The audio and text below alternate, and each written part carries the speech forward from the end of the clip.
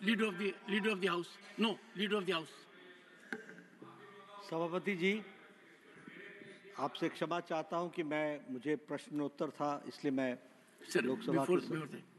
I must appreciate the gesture because I got a return communication of preoccupation of the leader of the house in the house of the people I got that communication sir तो इस कारण से मैं यहाँ उपस्थित नहीं था।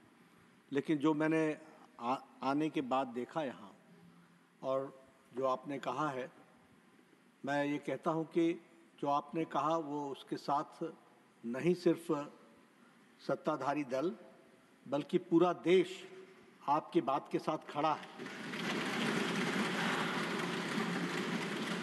और जिस तरीके का व्यवहार उस तरफ़ से हुआ है वो बहुत ही अशोभनीय है। और वो बहुत ही गैर जिम्मेदाराना है। मुझे बड़े स्पष्ट दिख रहा है कि वह राजनीति में धरातल पर स्तर से इतने नीचे आ गए हैं कि वह पार्टी का विरोध करते करते, व्यक्ति का विरोध करते करते अब देश का विरोध करने लगे।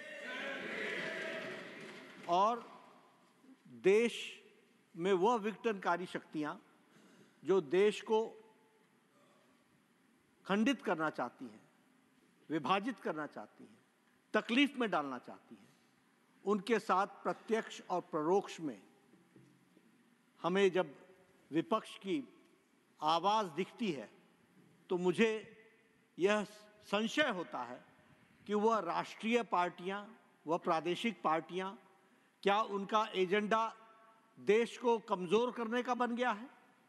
और आज जिस तरीके का जो आपने कहा टॉप ब्रास, वह इस बात को इंगित करता है कि सारी लीडरशिप इस बात से सहमत है कि वह किसी भी कारण से हाउस न चले, इसके लिए वो प्रेरित होती है। जो आज का व्यवहार है, मुझे लगता है कि उनको इसके लिए माफ़ी मांगनी चाहिए और और सदन की मर्यादा, सदन की गरिमा जिसके बारे में वो बार बार दोहराई देते रहे हैं यहाँ बैठ करके। उसको, उनको आचरण में लाना चाहिए। वक्त आ गया है आचरण में लाने का। और मैं इतना ही कहूँगा कि इस घटना की जहाँ मैं निंदा करता हूँ, वहीं उनको माफ़ी मांगने की बात भी कहता हूँ।